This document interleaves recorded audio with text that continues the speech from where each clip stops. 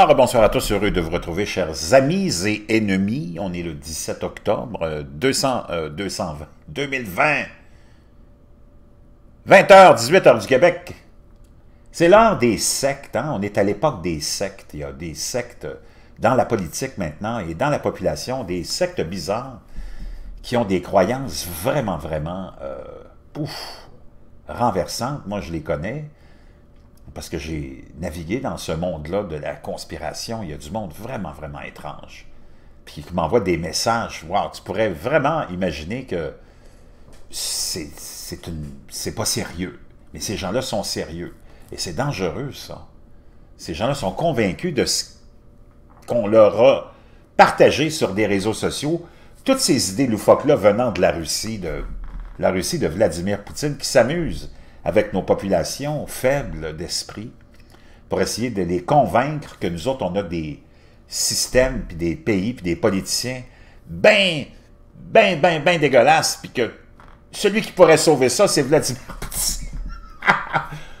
Le gars qui a passé 40 ans au KGB à torturer les gens, à tuer les gens, à massacrer les gens qui s'opposaient au régime. Wow!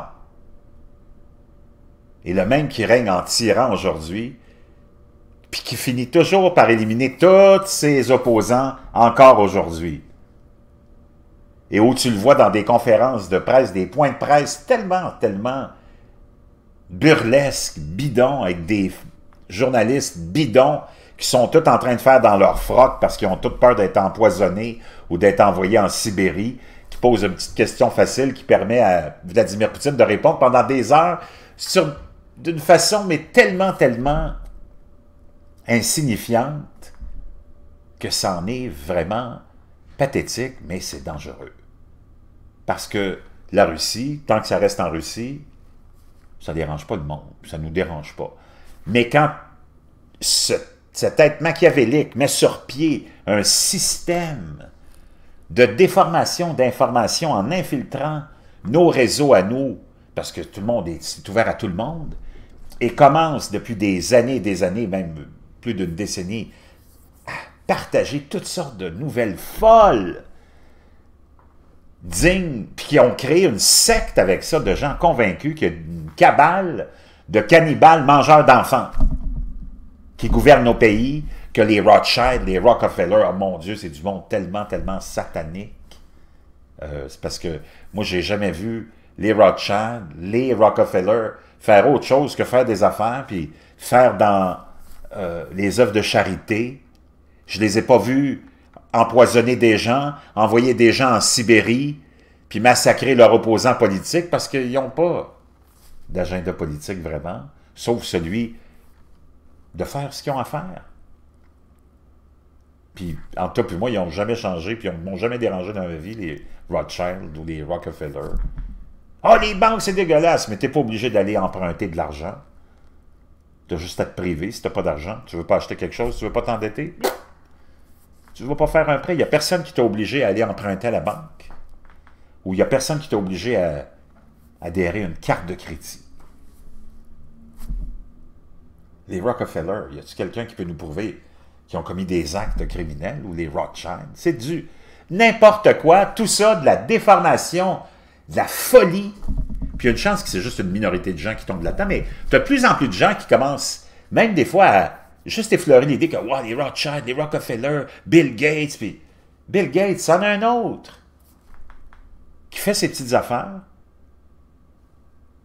qui a aidé l'Afrique à plusieurs, plusieurs niveaux,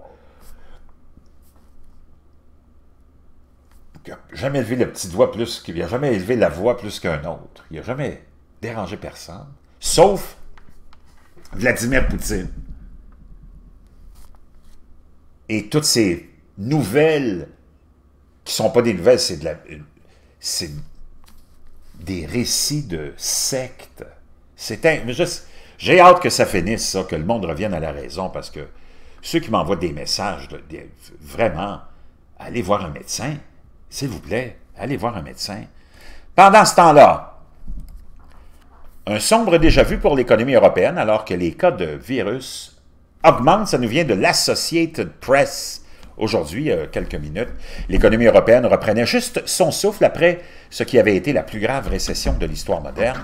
Une résurgence des cas de COVID ce mois-ci est un dur coup qui transformera probablement ce qui était censé être une période de guérison pour l'économie en un hiver maigre de perte d'emploi et de faillite.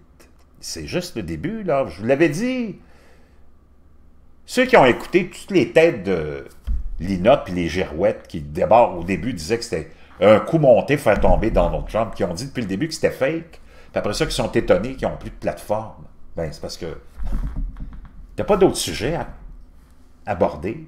T'as pas des idées politiques à défendre, ou c'est juste des, une propagande pour avoir plus de monde dans ta secte? C'est parce qu'on a tous condamné les sectes. Tout le monde condamne les sectes. Les sectes, c'est néfaste pour le bien-être de l'humanité. Wow, c'est pas facile, man.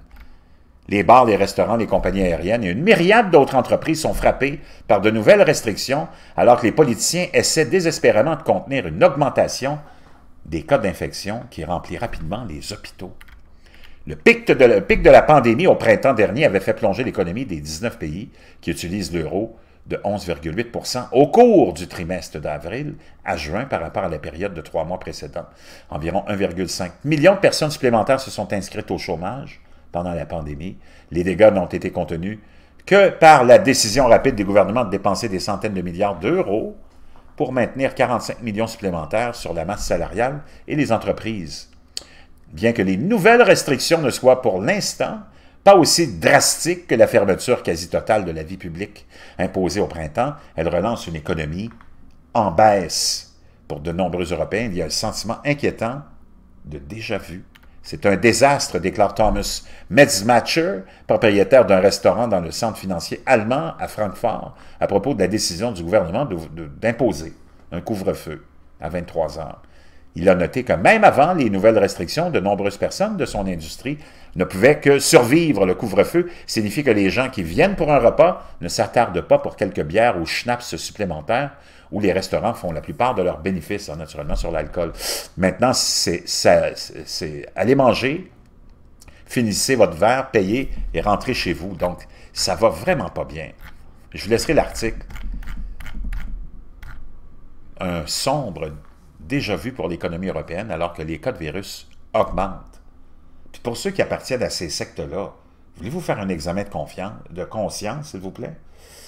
Puis regardez-vous dans le miroir, puis écoutez-vous, puis lisez vos, vos, vos commentaires, vos textes.